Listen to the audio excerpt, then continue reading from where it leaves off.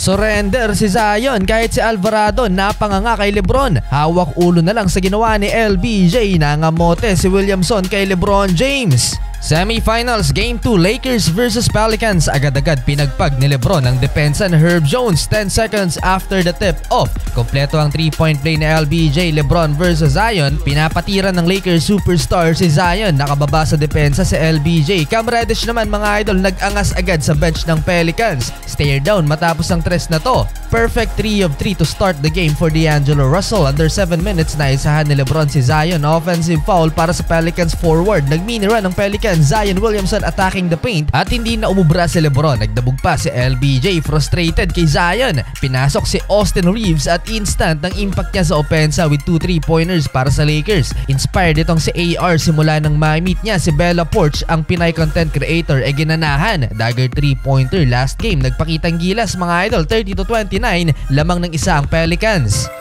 Second quarter nagala Stephen Curry na si Lebron James. Tatlong magkakasunod na tres. At sa pangatlo mga idol nagkagulo na ang bench ng Lakers dahil nagmula pa sa logo ang binitawang 3-pointer ni LBJ. Hindi na makapaniwala pa si Christian Wood. Hawak ulo na lang talaga. Total of 11 straight points for Lebron. And just like that the Lakers up by 7 40 to 33 parang playing coach lang si King James. At siya na din ang naging floor general. Take over sa LBJ eto pa and one floater Parang nakita ni Alvarado ang prime Lebron James sa kasalukuyan. Papatapos ang first half, dalawang beses pang nakapag-draw ng charging foul si Lebron, isa kay Zion Williamson at pailing-iling na si LBJ. Ginagamitan ng utak ni Lebron, alam niyang malaki si Williamson at madaling i-bait sa paint. Halftime 67-54, 21 points for Lebron James at walang senyales ng pagtanda. Third quarter, daig pa ni Lebron James ang mga batang players parang nasa 20s lang ang edad mga idol. Ayaw pa ring tumigil habang si Zion Williamson mag-isang nagkakayod para sa New Orleans Pelicans. Umabot na ng 20 points mga idol ang lamang ng Los Angeles Lakers.